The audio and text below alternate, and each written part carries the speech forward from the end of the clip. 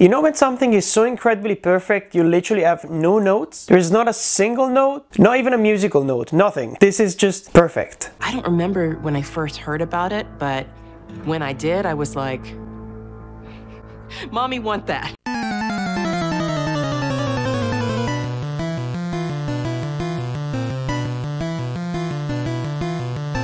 No! God, please, no! No! Welcome back to Torn Apart. Today we're talking about something that I've been wanting to talk since probably at least the release of the first few trailers when it comes to House of the Dragon, so a couple of months ago, but also the release of the first few pictures. I remember talking about it like in my most anticipated movies and TV shows of last year video, The Last of Us TV show. It's finally here, it's on HBO Max. I watched it as soon as I woke up this morning and I actually got emotional. I was not expecting that that, but I wanted to experience it as fast as possible, mostly because I've seen so many incredible reviews for this show. So many people giving it praise, but also calling it the best video game adaptation ever in the history of pop culture, which people were claiming that finally the video game curse was lifted off, even though we kind of have a good examples of other films and TV shows which have done a decent job, maybe not a perfect job, but a decent job.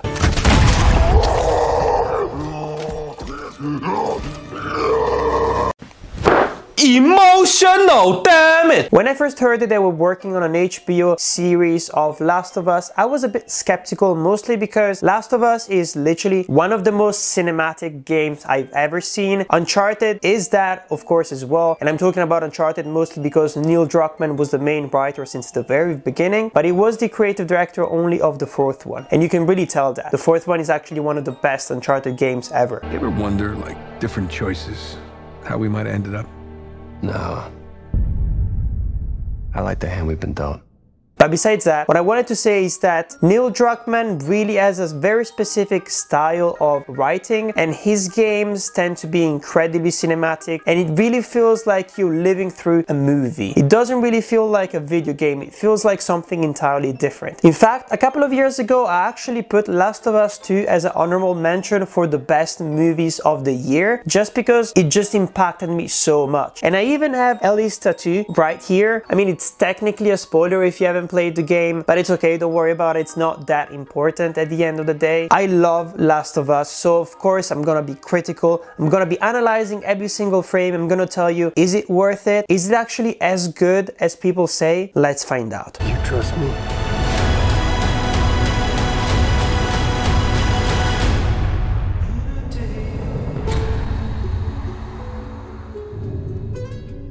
Let's do a little bit of an introduction when it comes to the background of the series and then we'll go into a deep analysis of the first episode. And I will do the thing that I do with all the other Marvel series as well. I want to try to do some speculations. I want to try and see whether this series is going to be good just by analyzing everything that they gave us with this first episode. Well, first of all, this series is created by Craig Mazin and of course Neil Druckmann himself. Craig Mazin is a bit of a weird guy. He's got a bit of a weird pedigree when you think about it because he's the writer of incredibly acclaimed things like Scary Movie 3, Scary Movie 4, The Hangover Part 2, The Hangover Part 3, The Huntsman Winter's War, and apparently he's working as a writer also on the new adaptation of Borderlands and on the next Pirates of the Caribbean movie. You would never expect someone like that to be in charge as a creative director for something so serious as Last of Us. But there is one credit that I have to mention and that explains everything. He's the creative director of 2019 HBO series Chernobyl.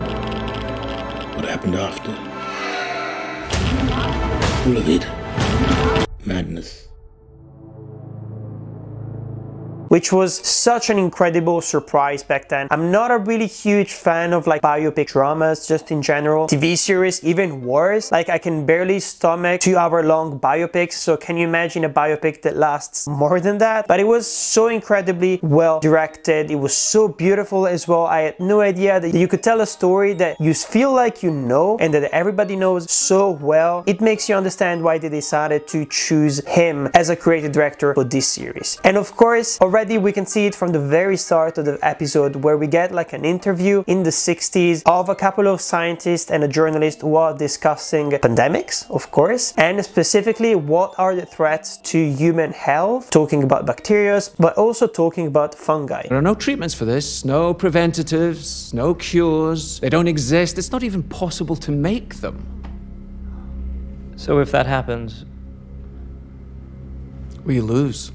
The thing is, the cordyceps fungi has been discussed like in popular culture even before Last of Us. There is also another book which is called The Girl with All the Gifts, which is basically up until now the best adaptation of The Last of Us kind of mood. But just saying that it is the same kind of feeling, it is the same kind of special effects and the same kind of zombies as well. So we've been discussing cordyceps fungi for quite a while and I really like the idea of starting this year with something incredibly grounded like this. And this is what Mazin is really good at. Neil Druckmann is really known for his complex character relationships. He's not really known for complex stories. And when I say complex stories, I'm talking about incredibly weird plot twists, things that you might see in like a glass onion movie or any kind of mystery movie in general. You get a very straightforward story and complex characters. That's what he's interested in. So of course, don't go into The Last of Us expecting it to be like something like House of the Dragon, for example, because that's not it. But it will definitely feel different to most of the other zombie outbreak post-apocalyptic series because of the characters, because there are so many interesting characters and they feel really real. But I would very much like for you to hurt him. So let's go hunt that motherfucker down and get our battery and our truck. And then we'll go find Tommy. All right? The relationships feel real. Even the most secondary characters, even the most side characters you could imagine, they all have motivation and backstories. And that's the kind of thing that I really like. And of course, reminds me of George R. R. Martin writing, for example. That's something that he really likes to do as well, to give you those really tiny details that makes you feel like a person is real. Neil Druckmann does that as well. And you can feel it in the first episode as well. There are so many characters. They're just appearing on screen for a couple of seconds, but you immediately know who they are, what they want in life and what their role is within a specific scene. There is, for example, like one of the military guys who is smuggling things with the help of Joel and you understand where he's coming from. You understand everything about him just by that scene and then seeing him again a couple of minutes later towards the end of the episodes. You feel for that guy. Really, man? Yep, we're doing this by the book. Jesus Christ. All right, what about three quarters? Unauthorized exit. I'll hang you for that. You don't just see him as a bad guy, as like a puppet for the villains of the story themselves. No, it feels like a real person and that's the strength of this series here and they're already doing that just with the first episode. You will often see similarities with other characters that you've seen in comic books like Preacher or Y the Last Man. Those are two comic books that Neil Druckmann cites quite a lot when it comes to his style, the things that he's interested in. So if you like those as well, you probably like Last of Us at the end of the day. From the first episode, we can already have a glimpse of the special effects and the budget that is being used to make this series work. And it works. Honestly, like even the big set pieces where you get those extreme long shots of a city being destroyed, or even when you look at the first few minutes of the story where we're going through a city where there is just madness going around and people running and explosions going in the background. Everything feels really good. It looks good, it looks realistic, and it doesn't really look like a concept art that could have been stolen from the video game. It really feels like they were trying to work on them in a different way so that they would feel like the video game itself of course so if you've played the game you recognize definitely a lot of elements but at the same time they're not just doing a copy and paste adaptation. Something that they try to do quite often when it comes to video game adaptation and it just doesn't work because the video game is a medium that is very different from a film from a TV series, there's a lot of things that you can't copy and paste from them. This is considered to be one of the most expensive Canadian shows ever made, and I've seen numbers online saying that every episode costs approximately between 10 and 15 million dollars, which is insane, of course. But the thing that really reassured me is that this looks even better than House of the Dragon. I have no idea why. Maybe House of the Dragon, the first season, was slightly rushed to be able to compete with Rings of Power, but some of the extreme long shots and the kind of like when they were trying to give you context of a city or context of like a dragon landing and interacting, for example, with normal human being, it just looked a bit empty, looked a bit off. There's nothing that feels off when it comes to this first episode. Everything looks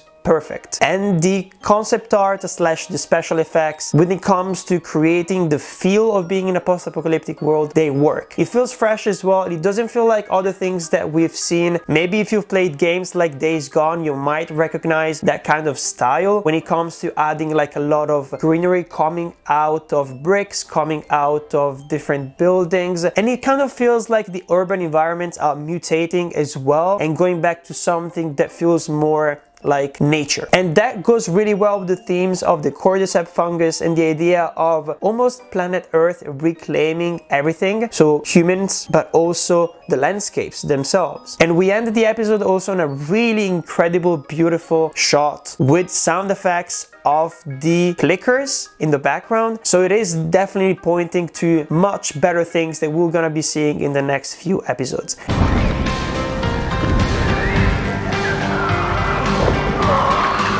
But anyways, I'm, I'm going back and forth in between the things that happen in the first episode, mostly because I don't want to give you too many spoilers if you still haven't had the time to see it, but also because I don't like those kind of videos that go plot point by plot point and it feels like you're just reading like a Wikipedia. I actually want this video to be a little bit more fluid, you know, and I hope you appreciate that. So the series consists of nine episodes and Gustavo Santaolalla is back to compose the music. In fact, we can hear him already with the theme music of Last of Us. I'm not sure whether he changed it slightly or he fine-tuned it to feel a little bit different. For me, it felt exactly the same as the one you would hear in Last of Us, so the video game itself.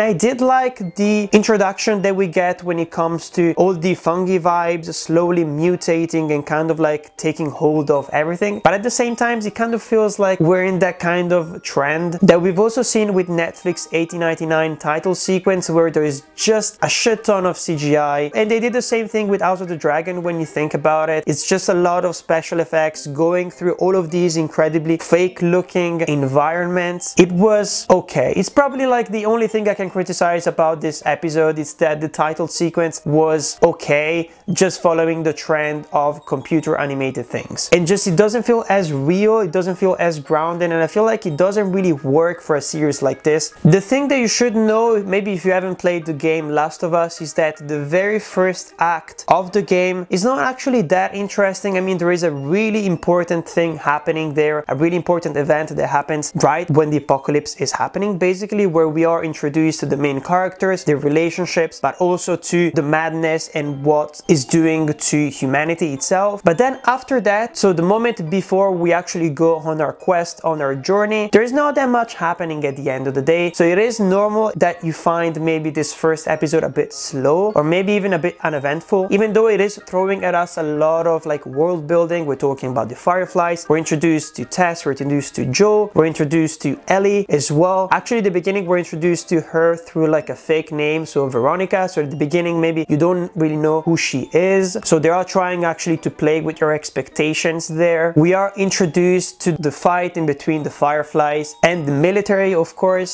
But we're also introduced to the idea of how much this is a dictatorship and they're not taking any risks. There is curfews going on. By the way, I forgot to say, maybe spoiler alert for the first episode, I'm gonna be analyzing right now like a lot of important aspects and things that could be considered as plot twists, so be careful with that. This is gonna be for the people who have seen the series. There is a really powerful scene where there is this child who is going to the city who thinks he's finally found like a safe haven and just because they see like a little tiny scratch on his knee, they decide to get rid of him.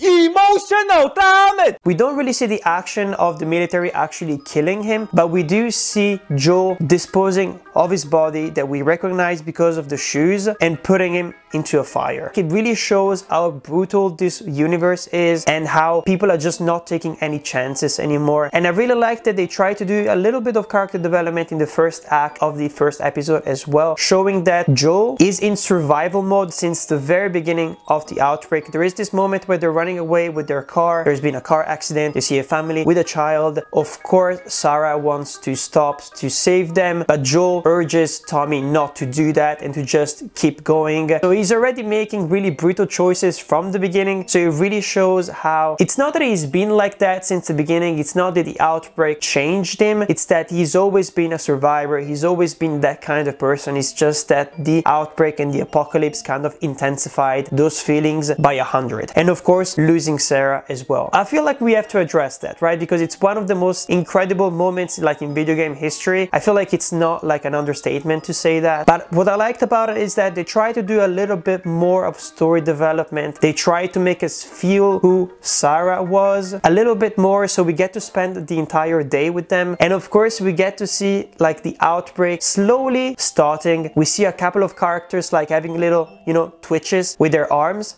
there is a moment, for example, when she's at school and we see like a child like twitching like that and we know what it means, but probably she doesn't and she doesn't care. It could be just someone who has a very weird like nervous tick. It doesn't really matter. And the same happens when she goes to her neighbor's house and you see in the blurry background like the old character sort of like having spasms and having those kind of weird muscle twitches. So you know that things are getting worse and they're not seeing it. They don't see it coming. So it really pays off even more because of that when the the outbreak actually starts. But I liked all of those tiny moments. I like the tiny moment of her going to a shop and getting the watch repaired because it gives it even more meaning. I feel like in the video game there's a lot of things that are sort of like introduced at the beginning of the game but we get to explore them and understand like the emotional resonance of them only when Joel decides to open up and tell his story to Ellie, for example. Not her, you know. What? Maria told me about Sarah. Ellie? And You are treading on some mighty thin ice here. I'm sorry about your daughter, Joel. But I have lost people too. You have no idea what loss is. Well, here we actually get to experience it for ourselves much, much earlier. And I think it's a good thing that they did here. It's a bit of a change when it comes to the video game, but they had to do that mostly because when you're playing a video game, it's really intense. So you tend to spend a lot of time on it. You could, for example, play for five or six hours and you don't even realize that you've gotten in a lot of information when it comes to the characters, their relationship and their backstories as well. But you can't do the same things when it comes to films and TV shows. You have an hour, an hour 20, 50 minutes, sometimes max, and you need to put those kind of hints of character development, those hints of backstories way earlier. Otherwise, the audience is gonna feel that you're just keeping all that information for yourself and they can't really relate to the main characters. When Ellie watches him beating a man to death, she is activated.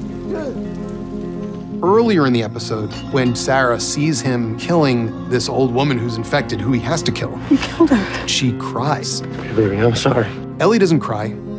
Ellie likes it. Especially because they're not really plot twists. They're just things that the main characters decides not to discuss openly because it hurts them too much to discuss it, right? The moment where actually Sarah dies and gets shot by one of the military guys, it was really, really powerful. It really worked on me. I was actually crying as I said like at the beginning of this video. They really managed to make us attached to Sarah in just like a couple of minutes and it's incredible. But if we go a little bit back with the outbreak itself, I love the way that they shot it like basically like in the video game where we got the camera in the car and things rushing from the sides, from the front, from the back and our view being limited by that as well. There is a lot of handheld camera work as well in this first episode and you can feel why they decided to use that. It really works. It's really beautiful and you can feel the rush, you know? You can feel the adrenaline in the air and even though it felt like almost a copy of the Give video game sequence when it comes to the car chase, it still worked quite well, especially because of all the planes flying through and all the sound effects that we're working on as well. As a writer, you're trying to construct a scenario where like a person is trying to avoid a fate worse than death. For Joel, it'd be losing a daughter again, and he probably would not survive that. So then, how do we put him in a situation where now he has to be with this girl and he immediately tries to reject it? You're gonna do it. The hell we are. We don't have time for this. And I like the idea of this coming out just after like the pandemic itself because there is a lot of things that remind you of that as well. For example, there is a little bit of discussions at the beginning of the episode about you see a lot of police cars going around, you see firefighters, you see people struggling in other countries like they talk about Indonesia, for example, they talk about Jakarta, but people don't take it seriously. Of course, you don't take it seriously because we're so used to violence being so common, we're so used to terrorist attacks, we're so used to bad things happening in other places, they're so far away from us as well. So we just don't take it seriously. And also, like, if you live in a town, for example, where there are a lot of like strikes, you're used also to seeing everyday struggles like that in between normal people and the police. So, of course, you never could imagine that it would turn into like a global pandemic, into like a, an apocalypse itself. So, I feel like just because they grounded it like that and they gave it that kind of context, it makes sense and you understand even more how all of those things could happen because it happened to us literally like a couple of years ago.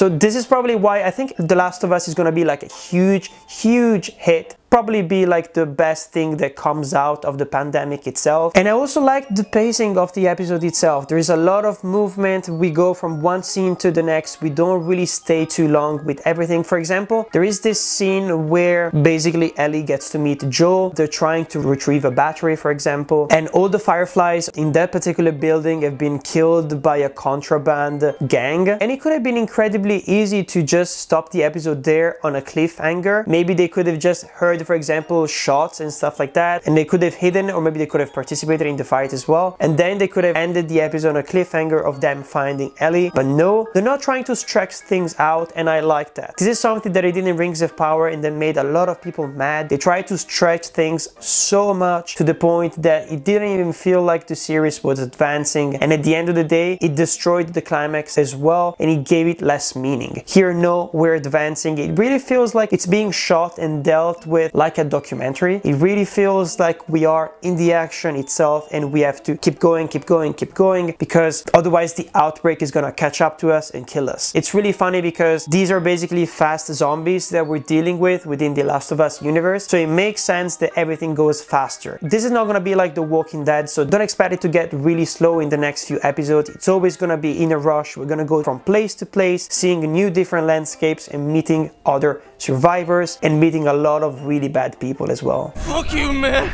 I told you what you wanted. I ain't telling you shit. That's all right. I believe it. No, wait! You disgust me. Go on. I've heard that they're gonna be changing one thing from the video game and I'm still not sure whether it's gonna look interesting or not. They're not apparently including the spores. Apparently the cordyceps virus doesn't spread through spores but just through the scratches and bites of the zombies themselves. I'm not sure whether that's interesting, mostly because there are so many incredible scenes where they're wearing, you know, the gas masks and they're going through an infected zone with zombies around, with clickers around, and the spores themselves. Some of the most beautiful moments happen in very low light environments like that.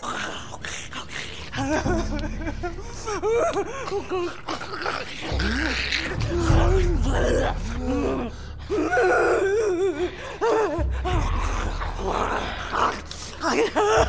and I'm really worried that they're just gonna scrap them off completely and kind of take away a bit of the danger of the universe itself because the spores is a huge part of the danger that goes with it. But maybe like they felt like it would become too much of a video game scene, meaning that it would become a recreation of exactly what it feels like to go through the video game. So they wanted to do something different. So what I've read, it's apparently they want to replace all the spores with tendrils that form like a unified interconnected net. So this means that if they touch those like fungi tendrils, they're gonna receive like the disease itself, like they're gonna catch the disease. I don't really know how it works because we don't really see it happening in the first episode, but we do get one great moment of special effects with something that kind of reminds me of Annihilation as well, where we got like a man decomposing and becoming like part of the fungi, part of the wall as well. And even though they seem shocked to see it just because it's not meant to be there, as Tess says herself, they don't seem to be worried about spores. They don't seem to be worried about infection. And that kind of worries me a little bit, but just a little bit. Maybe they're gonna do something interesting with the tendrils and with the just threat of being infected. I hope they do that, but it's a very tiny change and maybe doesn't even happen. It's just a false rumor. We'll have to see. And of course, we get to the end of the episode with a song by the Depeche Mode, which of course came out in 87. And it's a song that is called the Never Let Me Down Again. And of course, we know that it means danger. I had to Google it because I recognized the Depeche Mode, but I wasn't sure whether this came out in the 80s or the 90s. I knew it was an important like little hint about things to come. But I really hope that we don't get to have one of those moments in every single episode at the end, like we had for example for the series 1899, just because I really like the tone and the mood that Gustavo Santaolalla's music creates. It's very nostalgic, it's very sad, and at the end of the day, it's The Last of Us. Sensual. Un movimiento sensual. Sensual. Un movimiento I really like the performances. Pedro Pascal and Bella Ramsey are incredibly good. I really like all the nuances and things that are going at the back of everyone's head, meaning that when you look at Pedro Pascal, you know that he's going through a lot of different feelings and a lot of different memories, and there is more to him than we can actually see with our own eyes. And I'm not even saying that as like someone who has played the video games and who loves the video games. It's just that the performances are so good and so committed. And I think this is gonna be a great series at the end of the the day.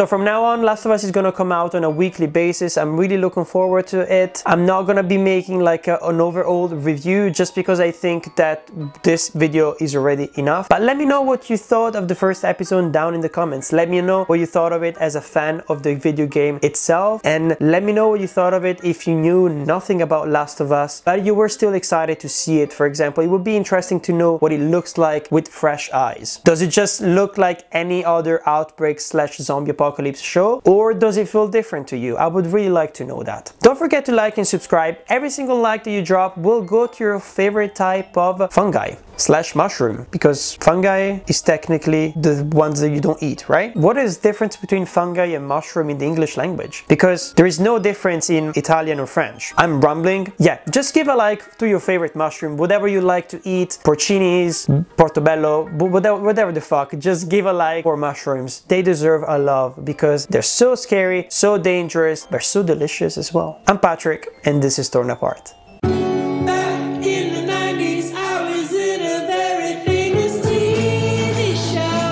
And it really feels like this is going to be something special. And I, I, will say this will be the most authentic video game adaptation yet. You don't tell anyone about your condition. We try to keep you alive. You're not immune from being ripped apart.